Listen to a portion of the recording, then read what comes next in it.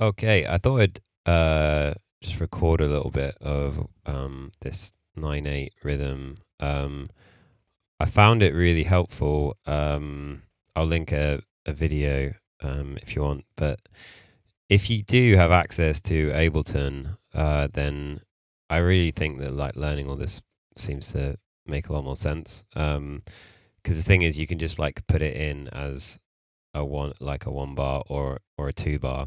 Um, there's a there's a video, yeah, as I said, that will show you how to do that if if indeed you want to use Ableton, but you may not. Um, but for instance, it really helped me to have like a metronome just easily overlaid over that because the clave that they have on Drum Genius is like you know it's like a syncopated rhythm, so that doesn't really help me if that's if I'm just trying to work out where the one is and all that. Um, so I just imported this loop into Ableton and then this is this is the loop, the, the full two bars of it.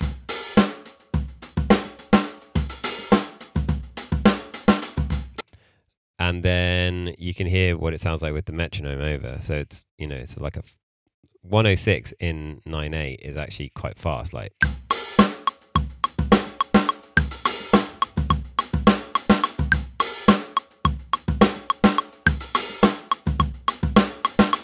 And what's really a bit, I don't know, kind of hard to take into account as well is that there's this little like um, ghost note there before the one that is played by the drummer. So if you're having trouble counting it already, and then there's this little ghost note that is actually just, um, you know, a sixteenth before the kick, it's uh, yeah, it's kind of threw me off for a while. So what what I, what I did is actually just made it a one bar loop, and then it actually makes a lot more sense.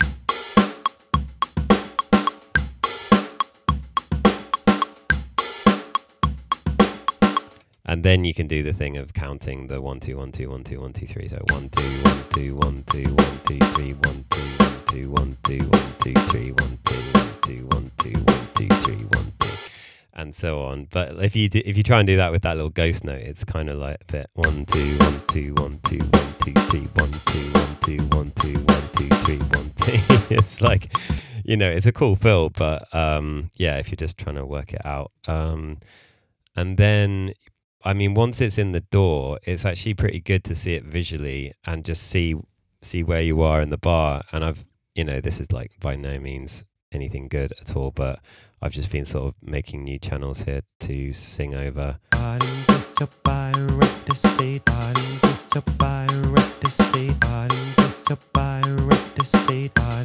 just to almost like I went from singing one two one two one two three to just like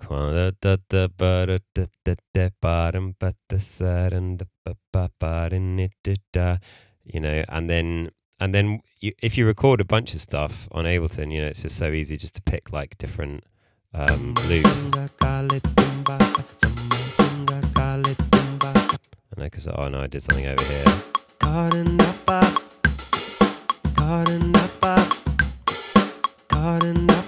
And then because you can see it visually, you can get a you know you can get your head around what's going on, and then added.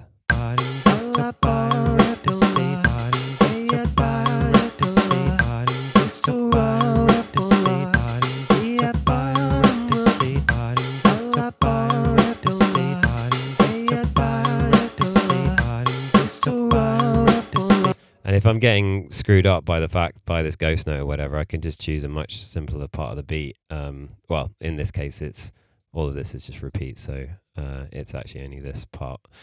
But this part without the ghost note is is is more simple. So, yeah, I don't know if that gives you an idea of like yeah possible workflows to start working things out. Like I I really am not good at odd meter at all, and like it's going to be it's to be really nice working. Um, working out this stuff. And yeah just even just these first things i've recorded it's like you start getting a feel for when it as it loops around. Um i swear that this visual thing helps me for now but yeah hopefully it's not too much of a crutch. Anyway um yeah hope you have a nice day